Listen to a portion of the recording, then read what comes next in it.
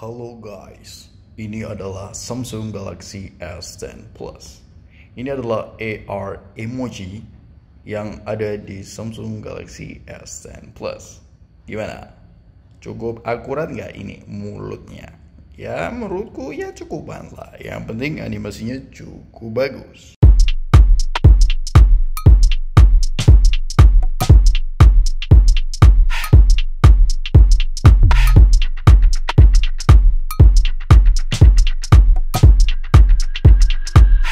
Sebelum kita masuk ke reviewnya, saya pengen menyinggung bahwa harga dari Samsung Galaxy S10 Plus ini ada dua varian. Yang pertama adalah versi second hand, itu di kisaran 7 juta 200-an. Kalau versi barunya itu sekitaran 8 jutaan. Jadi bagi kalian yang tertarik untuk membeli Samsung Galaxy S10 Plus ini, linknya sudah saya taruh di kolom deskripsi di bawah. Dan apakah Samsung Galaxy S10 Plus ini masih layak digunakan di 2021? Mari kita mulai dari desainnya. Dan in case kalau kalian lupa apa yang akan didapatkan di dalam boxnya, ini cukup lengkap. Ini kalian akan mendapatkan casing, buku manual, SIM ejector, fast charging, USB Type-C, dan yang terakhir ada earphone EKG. Ini nice banget, ini lengkap sekali. Untuk desainnya, Samsung Galaxy S10 Plus ini meskipun keluaran tahun 2019, ini masih terbilang desainnya cukup kekinian karena konsep punch hole seperti ini, ini adalah salah satu keuntungan beli flagshipnya Samsung karena dari segi desain, Samsung menjadi salah satu pionir desain smartphone Android.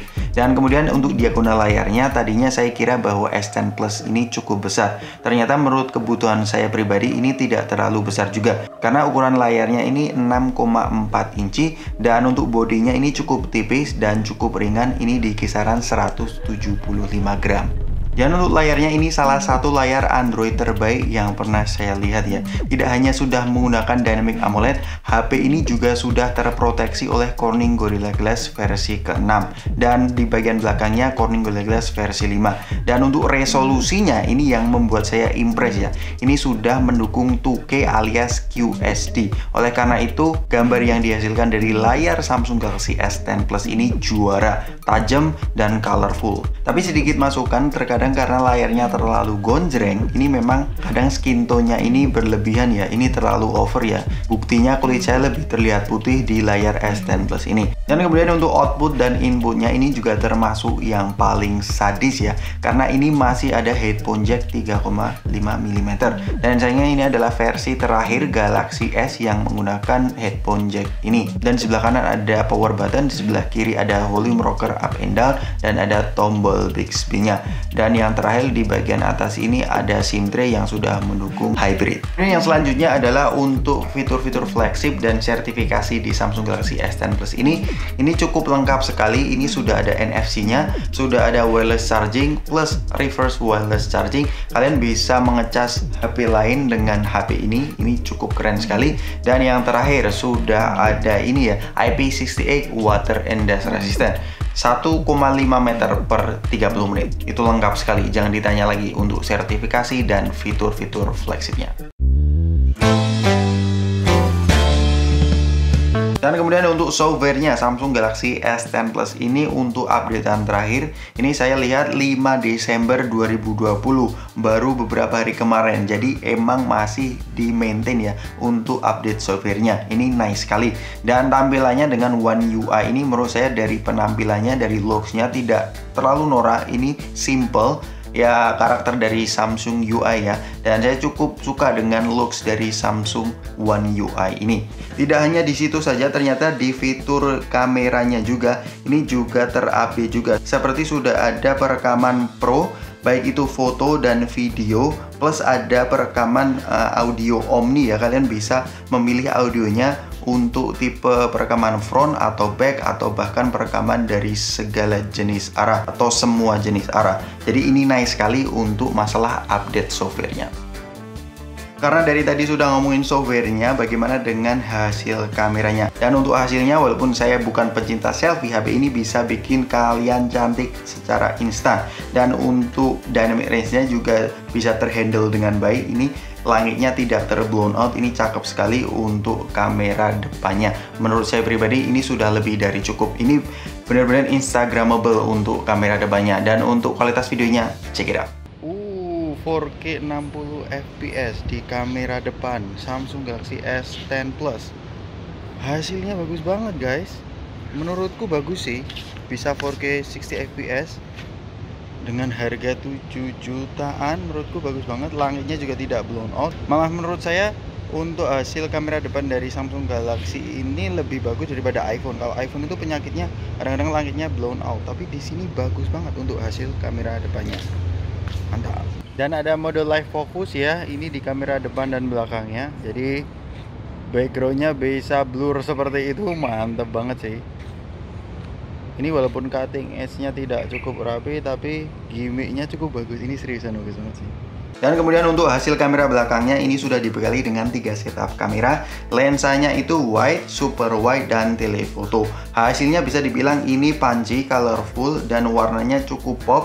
Tapi terkadang sedikit over ya saturasinya, jadi kesannya agak terlalu diedit. Tetapi ini justru praktis ya bagi kalian yang tidak terlalu suka edit, gambarnya langsung bisa diupload di Instagram. Tapi ini preferensi masing-masing sih. Tapi kalau saya pribadi saya suka dengan image processing yang ada di Samsung Galaxy S10 Plus ini.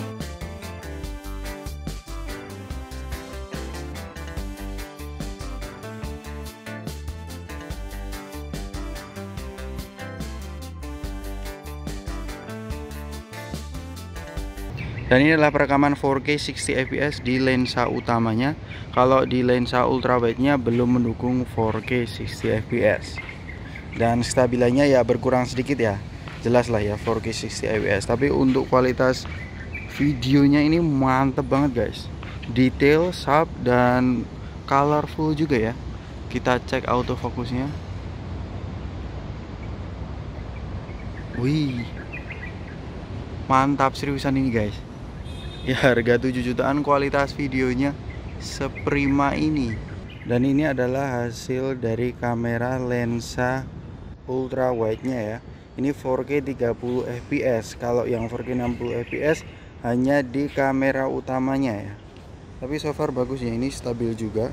Dan langitnya ini biru banget. Hasilnya saya suka sekali dengan uh, Samsung Galaxy S10 Plus ini. Kamera belakangnya mantap. Dan dynamic range nya juga bagus juga. Mantap juga ini. Kita langsung ngecek bagaimana uh, kualitas ininya apa itu namanya? Kamera. Oh lensa satu time zoomnya. Langsung kita kita switch dari ini ya dari lensa ultra wide lensa wide ya. Dan telefoto mantap kali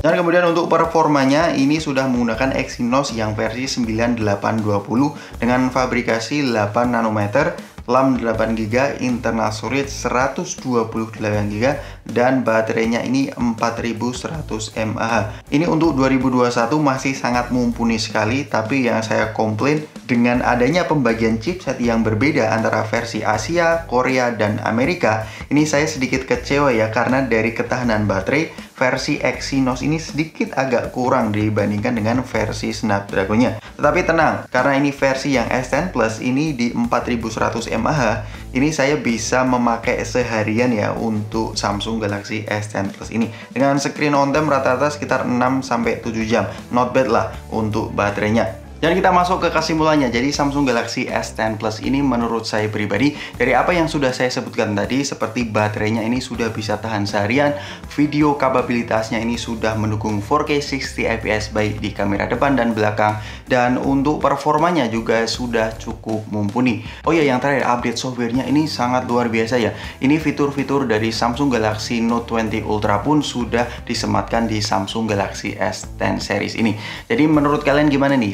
Samsung Galaxy S10 Plus ini. Apakah kalian pengen beli X flagship di tahun lalu atau kalian pengen beli HP dengan versi terbaru? Let me know in the comment section dan below. Jangan lupa untuk like video ini dan subscribe channel Dewi Gadget. Sampai ketemu di video selanjutnya. Peace out.